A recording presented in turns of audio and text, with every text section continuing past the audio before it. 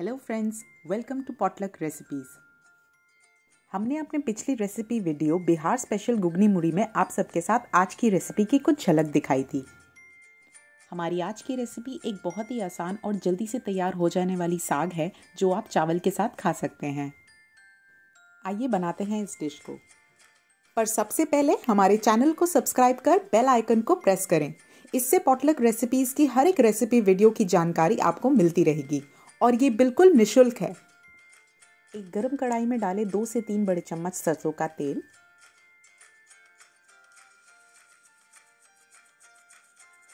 जब तेल अच्छे से गर्म हो जाए और इसका रंग भी थोड़ा सा बदल जाए तो इसमें डालें तीन से चार सूखी लाल मिर्चें। आधे से एक छोटा चम्मच कलौंजी। आठ से दस बारीक कटे लहसुन।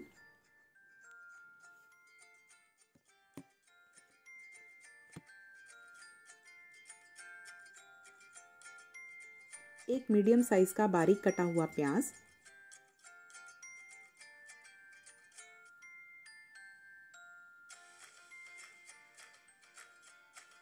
थोड़ी देर के लिए चलाएँ।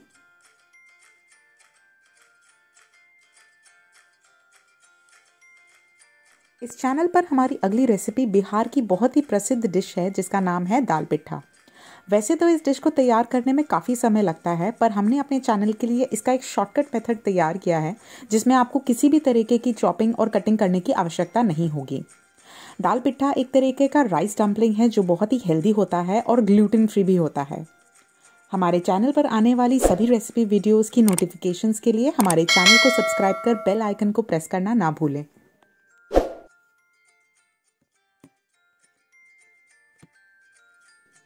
जब प्याज सुनहरा हो जाए, तब हम इसमें डालेंगे दो बंडल बारीक कटा हुआ कोलमी साग। हम इसको दो भागों में डालेंगे। दोबारा अच्छे से चलाएँ।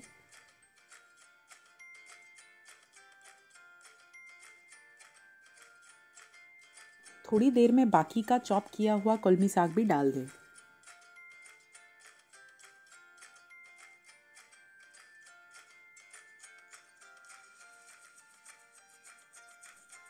कलमी साग मुख्य तौर पर दक्षिणी पूर्व एशिया में पाया जाता है और इसका सबसे पहले उल्लेख चिन राजवंश के दौरान किया गया था।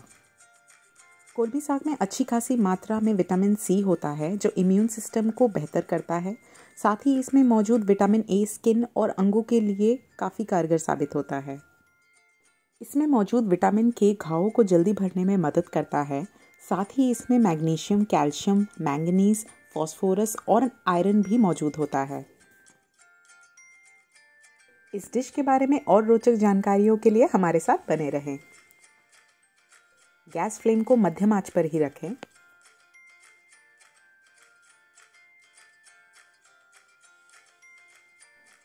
हम इसमें बिल्कुल भी पानी नहीं डालेंगे क्योंकि ये अपने ही मॉइस्चर में पकेगा।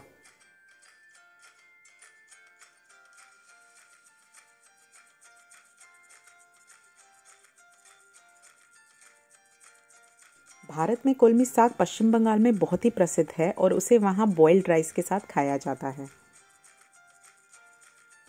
हालाँकि ये कम सामग्री और झटपट से बन जाने वाली डिश है, लेकिन इन पत्तों को धोते समय बहुत ही ध्यान रखना पड़ता है। रिसर्च से साबित हुआ है कि कोलमी साग के सेवन से कोलेस्ट्रॉल और ट्राइग्लिकोसाइड के स्तर में भी कमी आती है। और आयुर्वेदा के अनुसार इसका इस्तेमाल जॉन्डिस और लिवर के प्रॉब्लम्स को ट्रीट करने के लिए भी किया गया है। अब इसमें डालें स्वाद अनुसार नमक। इसमें हम थोड़ा कम नमक ही डालेंगे।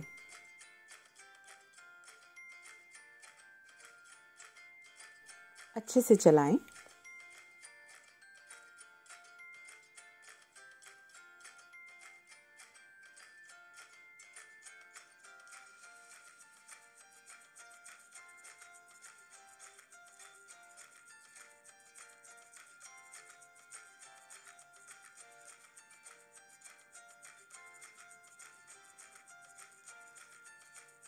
हम इसको तब तक चलाएँगे जब तक इसका पानी सूख ना जाए।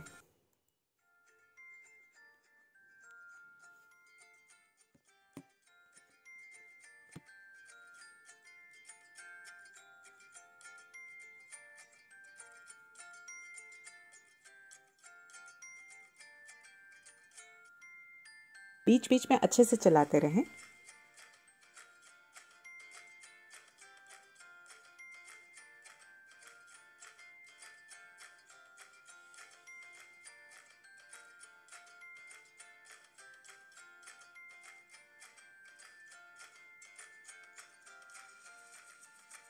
अब ये सर्व करने के लिए एकदम तैयार है।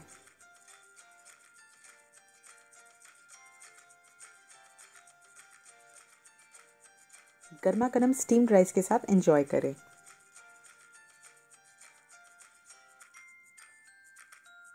इस चैनल पर हमारी अगली रेसिपी बिहार की बहुत ही प्रसिद्ध डिश है, जिसका नाम है दाल पिट्ठा वैसे तो इस डिश को तैयार करने में काफ़ी समय लगता है, पर हमने अपने चैनल के लिए इसका एक शॉर्टकट मेथड तैयार किया है, जिसमें आपको किसी भी तरीके की चॉपिंग और कटिंग करने की आवश्यकता नहीं होगी। दाल पिट्ठा एक तरीके का राइस डम्पलिंग है, जो बहुत ही हेल्दी होता है और ग्लूटिन फ्री भी होता है। हमारे चैनल पर आने वाली सभी रेसिपी वीडियोस की नोटिफिकेशंस के लिए हमारे चैनल को सब्सक्राइब कर बेल आइकन को प्रेस करना ना भूलें।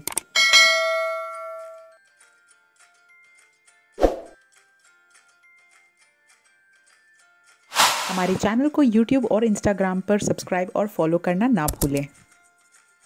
धन्यवाद।